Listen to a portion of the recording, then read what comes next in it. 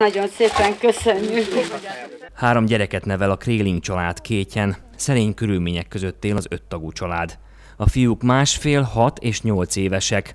A család két éve költözött Kétyre, azóta igyekeztek beilleszkedni a falu közösségi életébe. A család fenntartó és a gyerekek örömmel fogadták a Magyar Vörös Kereszt adományát.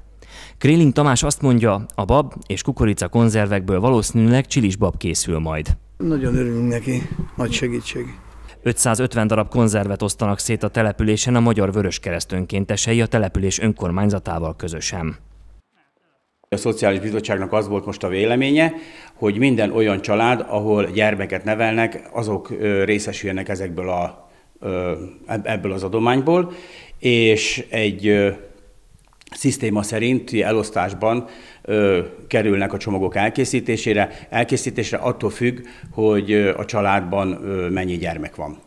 Ez a Vörös Kereszt adománya, és ebben nekünk csak a kiosztás és a, és a csomagok elkészítése, illetve szétválogatása ö, ö, szerepel, mint feladat végigmentünk házról házra, tudjuk, hogy melyik házba nevelnek gyermekeket. A helyi szociális bizottság nagy figyelmet fordít a településen élők segítésére. A mostani adományok kiosztásánál is több szempontot vettek figyelembe, mondja a bizottság elnöke. Két önkormányzata is minden szempontból megpróbálja segíteni a rászoruló családokat.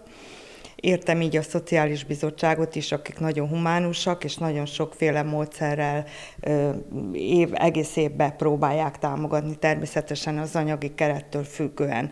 Nagyon jó kapcsolatot ápolunk a Szexádi Vöröskeresztel, és ők már többször is nyújtottak segítőkezet minden szempontból.